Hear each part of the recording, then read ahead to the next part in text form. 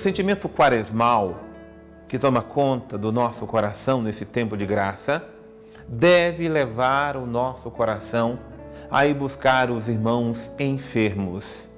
Cristo crucificado é o Cristo sofredor. Nos leitos dos nossos hospitais, das nossas casas, jogado no meio das ruas, Cristo que está doente, Cristo que está enfermo. E você sabe, eu experimentando em si ou nos nossos próximos, o quanto muitas vezes a enfermidade deixa a pessoa num estado de penúria. Ela precisa do nosso socorro, ela precisa da nossa misericórdia. Cada vez mais eu tenho procurado ir ao encontro dos doentes e enfermos, nos nossos hospitais, nas casas, nas famílias. Nós precisamos ser uma presença de conforto e de alívio para os nossos sofredores. Não vá a um hospital somente quando tiver um parente, um amigo seu lá.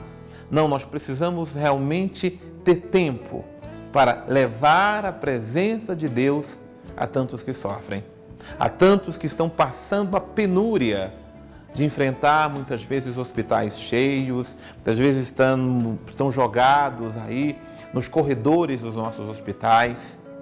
Nós precisamos ser misericórdia de Deus, conforto de Deus, consolo de Deus e presença de Deus para aliviar o sofrimento de muitos dos nossos irmãos. Saiamos de onde estamos para ir ao encontro de Jesus, enfermo, sofredor.